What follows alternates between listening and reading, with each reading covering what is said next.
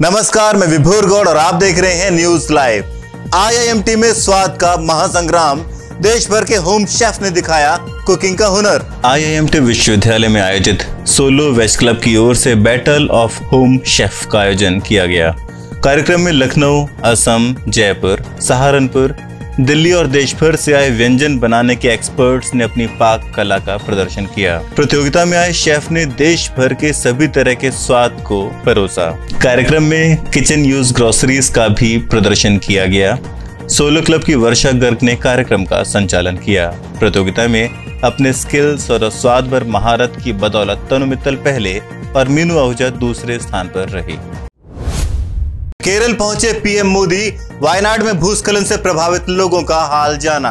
प्रधानमंत्री नरेंद्र मोदी केरल पहुँचे और वायनाड में भूस्खलन प्रभावित इलाकों का हवाई सर्वेक्षण किया।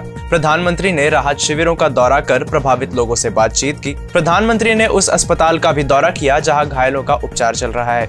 इसके साथ ही पीएम मोदी ने वायनाड में जारी राहत व बचाव कार्यों और पुनर्वास प्रयासों की समीक्षा भी की।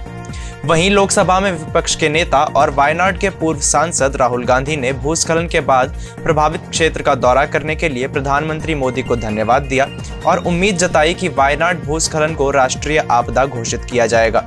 बीती 30 जुलाई को वायनाड में बड़े पैमाने पर हुए भूस्खलन में 400 से अधिक लोगों की जान चली गई, जबकि 150 लोग अभी भी लापता हैं। अमेरिकी फर्म हिंडनबर्ग रिसर्च का ऐलान भारत में कुछ बड़ा होने वाला है। अमेरिकी short seller firm Hindenburg research ने एक और चेतावनी देकर सबको हैरान कर दिया है। हिंडनबर्ग रिसर्च ने सोशल मीडिया प्लेटफॉर्म एक्स पर पोस्ट करते हुए भारतीय कंपनी से जुड़े एक और बड़े खुलासे का ऐलान किया है। हिंडनबर्ग रिसर्च ने लिखा कि भारत में कुछ बड़ा होने वाला है। हालाँकि क्या बड़ा होने वाला है, इस बारे में कोई जानकारी नहीं दी गई है। इससे पहले जनवरी 2023 में हिंडनबर्ग रिसर्च ने अडानी समूह पर निशाना साधते हुए रिपोर्ट जारी की थी, जिसके बाद अडानी ग्रुप के सभी शेयरों में बड़ी गिरावट आई थी। इससे गौतम अडानी दुनिया के नंबर दो अरबपति बनने के बाद छत्तीसवें नंबर पर खिसक गए थे।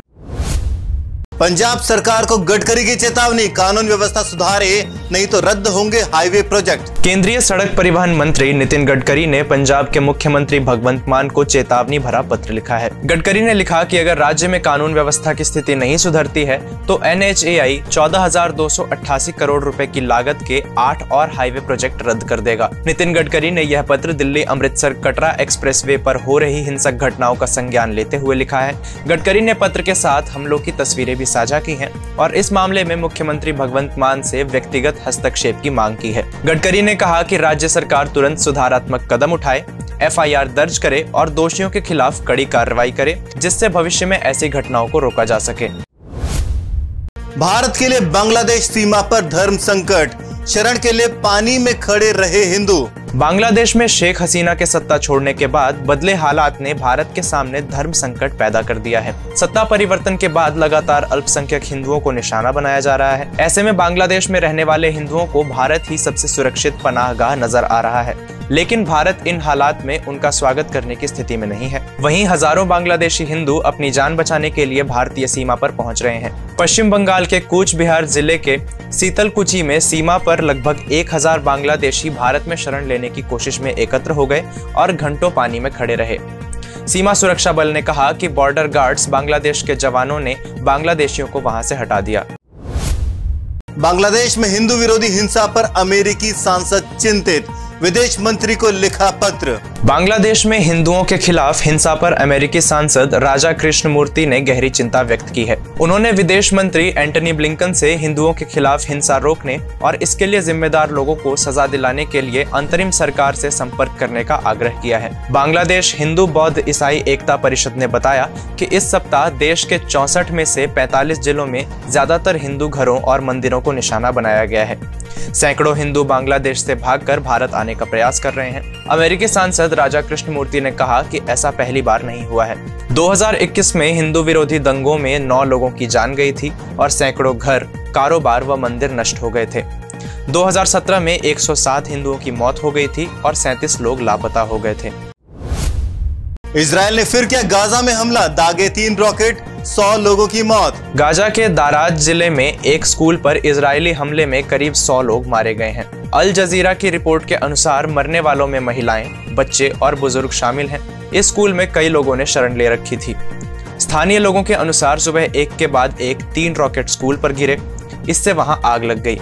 वहीं इजरायली सेना का दावा है कि अल तबीन स्कूल का इस्तेमाल हमास ऑफ़िस के रूप में किया जा रहा था। उसमें हमास के कई आतंकी मौजूद थे। ये हमला आम नागरिकों पर नहीं किया गया है। दूसरी ओर हमास प्रवक्ता महमूद बासल ने कहा कि हमले में करीब 100 लोग मारे गए हैं और कई लोग घायल हुए हैं। अफ्रीका में मंकी पॉक्स का कहर विश्व स्वास्थ्य संगठन ने बुलाई emergency meeting. Congo Kenya, Rwanda और युगांडा समेत 10 अफ्रीकी देशों में मंकी पॉक्स वायरस का कहर बरप रहा है। इसे देखते हुए विश्व स्वास्थ्य संगठन ने इमरजेंसी बैठक बुलाई। डब्ल्यू की आशंका है कि यह वायरस दुनिया के अन्य देशों में भी फैल सकता है। कांगो के पड़ोसी देशों में नया स्ट्रेन पाया गया है, जिसने विश्व स्वास्थ्य संगठन की चिंता को और बढ़ा दिया है। वहीं जैसे जैसे मंकी पॉक्स वायरस अफ्रीकी देशों में फैल रहा है वैसे वैसे भारत में भी लोगों की चिंता बढ़ रही है। यह एक संक्रामक बीमारी है, जो संक्रमित व्यक्ति या जानवर के संपर्क संपर्क में आने से होती है। मंकी पॉक्स वायरस का संबंध ऑर्थोपॉक्स वायरस परिवार से है, जो चेचक की तरह दिखाई देता है। इसमें वेरियोला वायरस भी शामिल है। आज के लिए इतना ही। कल फिर मिलेंगे देश और दुनिया की नई जानकारियों के साथ। तब तक के लिए देखते रहिए और सब्सक्राइब कीजिए आई आई एम मीडिया